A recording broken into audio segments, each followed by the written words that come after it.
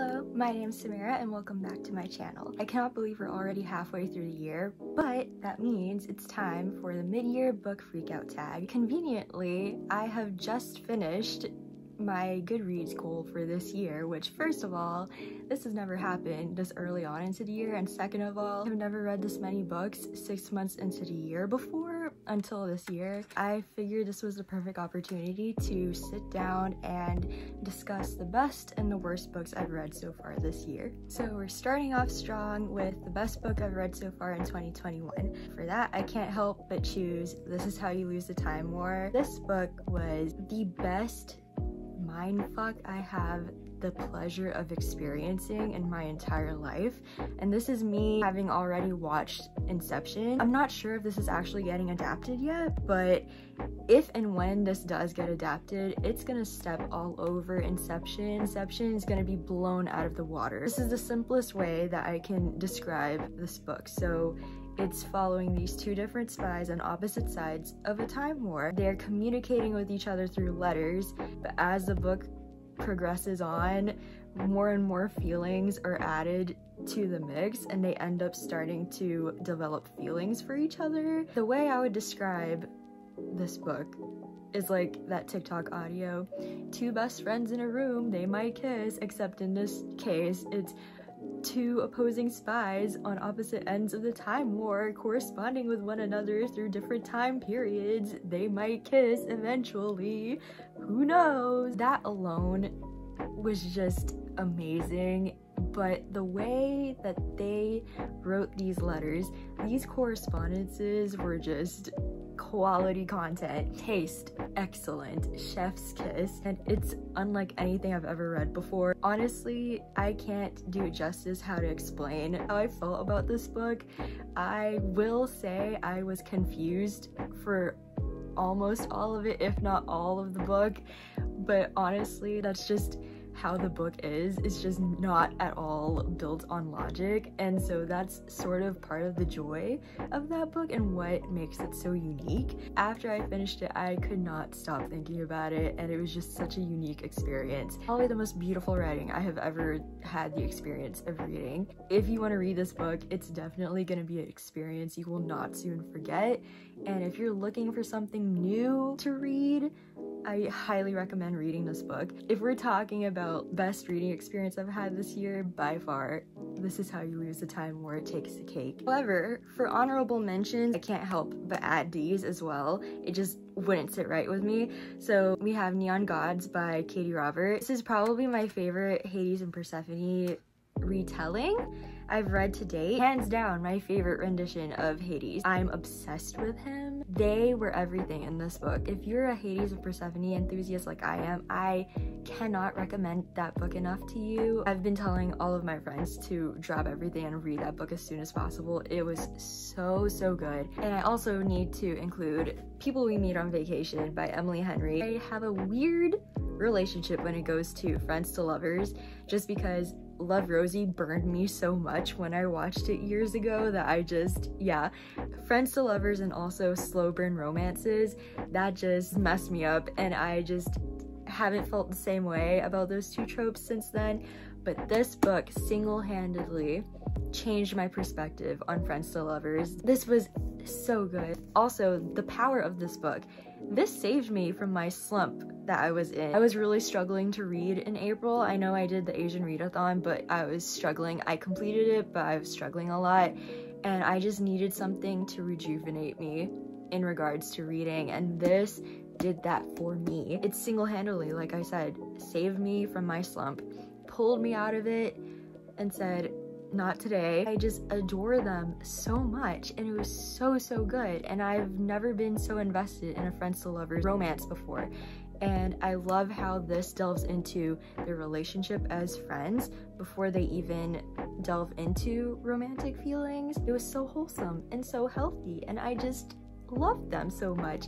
So yes, also highly recommend. So next up, we have best sequel you've read so far this year. I don't think I've actually read a lot of sequels this year, but of course, one comes to mind, that being Chain of Iron by Cassandra Clare. If you've watched the vlog I have of me reading this book, you already know the emotional, mental, and spiritual journey I went on while reading this book. Like I said, I don't think I've read many sequels, but yes, by far best sequel I've read so far this year. Next up, we have new release you haven't read yet but want to. So this year there have been a lot of new releases that have come out that I've been really excited about and also I haven't had a chance to get to. Off the top of my head, Ace of Spades, The Chosen and the Beautiful, and The Ones We're Meant to Find.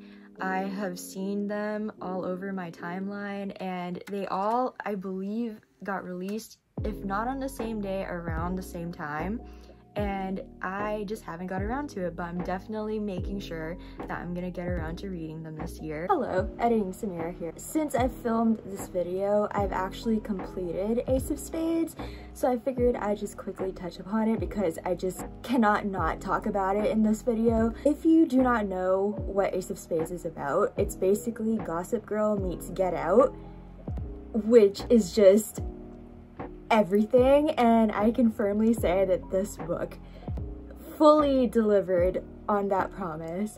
It was genius, so fast paced, so easy to get sucked into the world.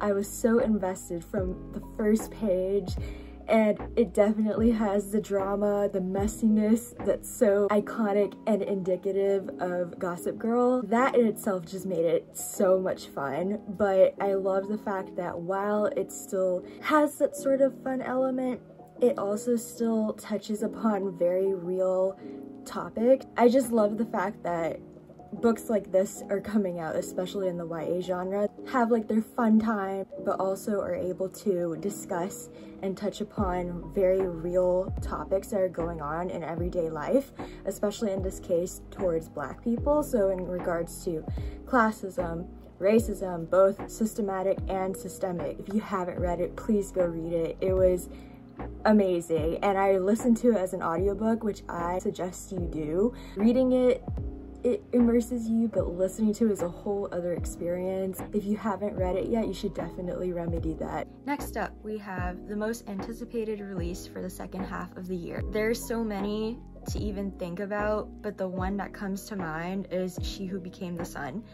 And it's coming out at the end of next month, I believe, and I cannot wait to read it. I've heard that it's a mix between the Poppy War and um, Mulan. I've been trying to find something to fill the void ever since I finished the Poppy War, and that's honestly one of my favorite series.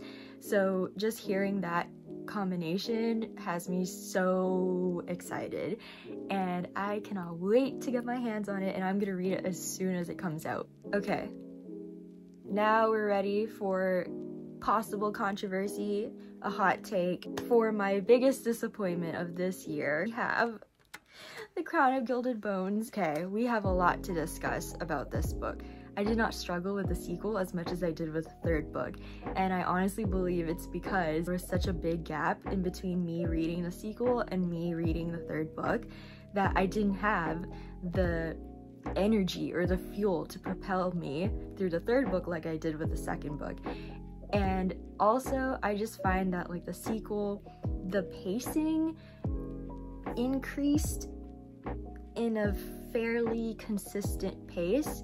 Whereas if we're talking about the third book, the third book's pacing was all over the place. Miss JLA, she desperately needs to condense her books. There is no reason for those books to be 700 plus pages. Absolutely not. The pacing was just all over the place. I was struggling a lot.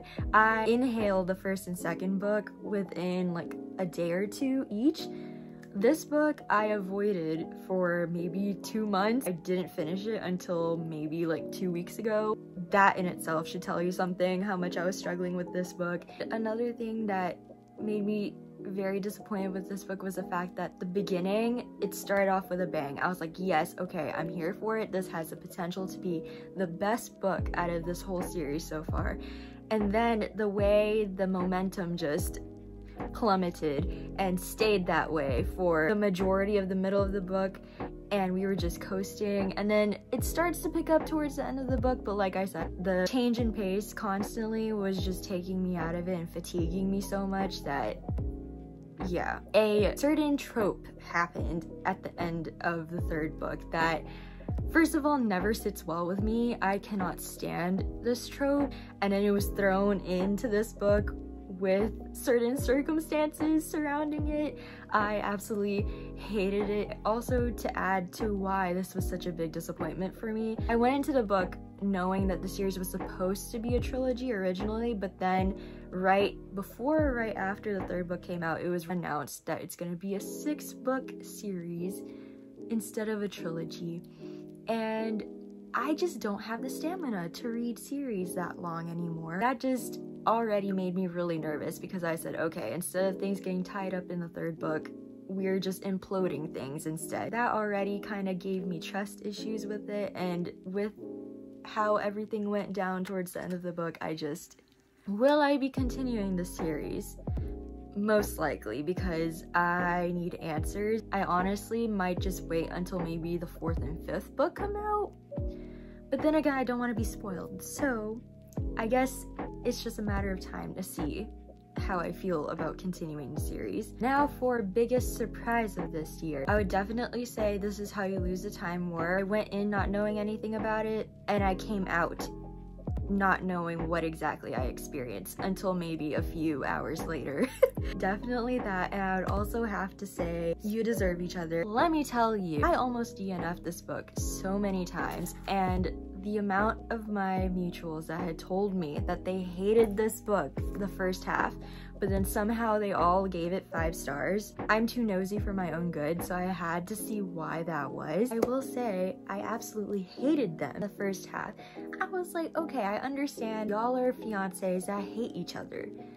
Just break up already, okay? Save us all the heartache, save us all the time and energy, and just break up. This was peak hate.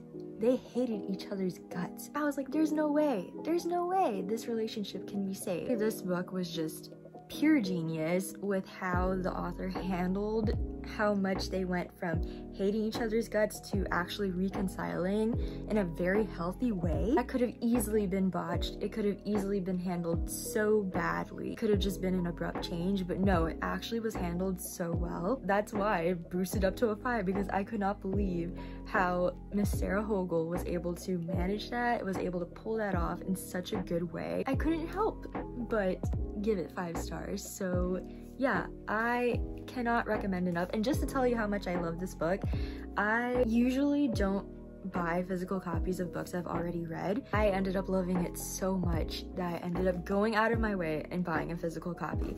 I don't ever do that unless I absolutely adore a book. And yeah, that's that's how I feel about this book. And if you haven't read this, I highly recommend.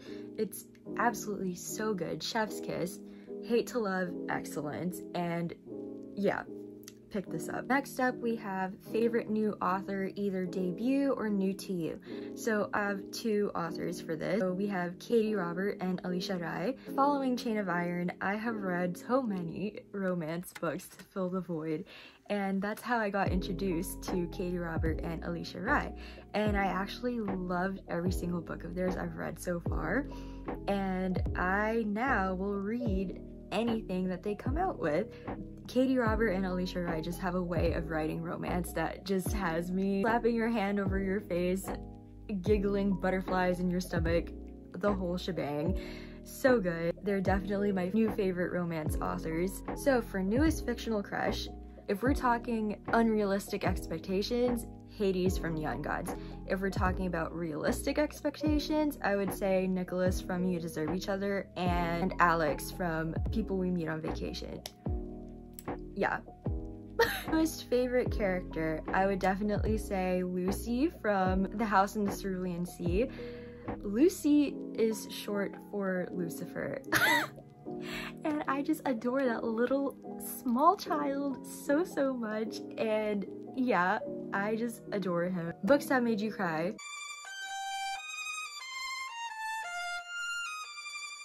Moving on. For honorable mentions, I will say Stationery Shop and Crying in H Mart. Book that made you happy. I will definitely say The House in the Cerulean Sea. That book was just pure serotonin in a book. I have never felt so happy while reading a book it was just pure joy. If you just want happy vibes 24 7, definitely pick that book up. I have never felt so happy and sunshiny and rainbows after reading a book until I read that. For the most beautiful book you've bought so far this year, I have these two editions of Chain of Iron. Yes, I caved. I got both of these. Can we take a look? Um, beautiful. Wow, yes, my emo heart is just any other book I've bought pales in comparison, but yeah, they're just stunning. And I am so glad I ended up caving and getting these. Next up, what books do you need to read by the end of the year? Far too many. I'll quickly show the ones that I really need to get to, the ones that are priority for me this year, that I personally told myself I need to read these before the end of the year or else I'll consider myself a failure. And finally, for best book adaptation of this year, I think we all know the answer for this. Hands down, Shadow and Bone. The best book adaptation I have seen since The Hunger Games, possibly even better. I'm obsessed. I've probably watched it three to four times at this point. Will I stop? Probably not. I also have a full-on discussion with Mariam from Mariam Read Sometimes and Daria from Full of Lit where we discuss all of our thoughts and feelings about the show. So if you want to watch it, I'll link it down below. So I think that closes out this video. Thank you for watching. I hope you enjoyed and let me know if any of these made it onto your mid-year book freakout. Please discuss with me in the comments below and let me know what books you think I should read before the year ends. So yeah, until next time, bye!